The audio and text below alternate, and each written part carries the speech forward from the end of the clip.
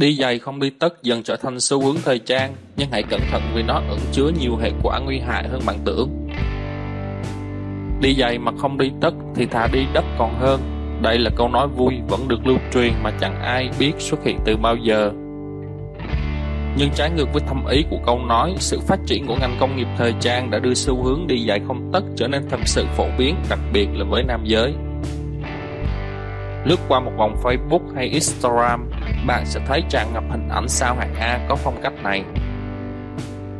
Bradley Cooper, Ryan Gosling, Orlando Bloom, Jude Law, Cristiano Ronaldo là ví dụ điển hình về những người bám rất sát xu hướng kể cả đời thường lẫn các sự kiện chính thức. Nhiều ngôi sao nổi tiếng thế giới rất thích slop style khi đi giày, nhưng thói quen đi giày như vậy có tốt không? Sự thật thì không phải tự nhiên câu nói đầu bài được lưu truyền trong một thời gian dài và đây là thói quen có thể để lại nhiều hậu quả không mấy tốt đẹp cho cơ thể bạn. Emma Stevenson, chuyên gia về chân đến từ trường đại học Monterey, Mỹ cho biết số bệnh nhân đến gặp bà cũng tăng lên từng ngày chủ yếu vì lý do mang giày dép quá chật và vì đi giày mà không đi tất. Theo Station, một bàn chân đi giày sẽ khoảng nửa lít mồ hôi mỗi ngày, có thể nhiều hơn hoặc ít hơn. Bình thường, phần lớn sẽ được hấp thụ vào đôi tất bạn mang, nhưng khi không còn tất nữa, mồ hôi sẽ nằm lại dày, Thứ đa phần được làm từ những vật liệu khó thoát khí. Hệ quả là đôi chân của bạn có thể dễ dàng biến thành nông trại trồng nấm hay còn gọi là bệnh chân lực sĩ. Arthritis Foot một dạng nấm bàn chân đó là chưa kể đến mùi hương nồng nàn mỗi khi cởi giày ra nữa. Tùy vào lượng mồ hôi trên chân, nếu như quá nhiều, bạn hoàn toàn có nguy cơ nhiễm nấm, Station nói.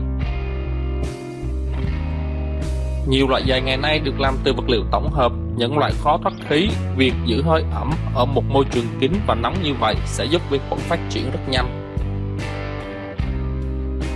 Nhưng đó chưa phải là tất cả, việc đi giày không mang tất sẽ làm tăng lực ma sát giữa da chân và giày, dễ gây phồng rộp, tạo chai chân.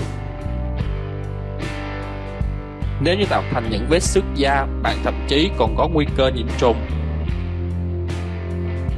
Phải làm sao để hợp thời trang mà vẫn an toàn nếu không muốn để lộ tất khi đi sneaker hoặc đi giày slip-on, giày da bạn hoàn toàn có thể lựa chọn các loại tất nửa bàn chân đang rất thịnh hành trên thị trường. Còn trong trường hợp vẫn muốn đi giày mà không cần tất, bác sĩ Station đưa ra một số lời khuyên như sau.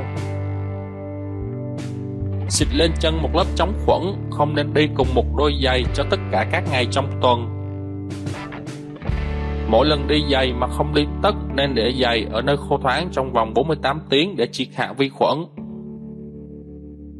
Sử dụng túi trà khô hoặc gói hút ẩm để hút bớt lượng nước còn đọng trong giày. Rửa sạch và làm khô chân trước khi xỏ giày, lặp lại điều đó sau khi tháo giày. Đừng đi những đôi giày quá chật khiến bạn đau